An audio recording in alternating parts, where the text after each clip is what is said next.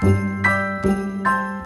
the third day of Christmas, my Santa gave to me three crumble kids, two Santas dancing, and a brutal patch in the dojo. Have a holly jolly Christmas, it's the best time of the year. Now, I don't know if they'll be. Oh.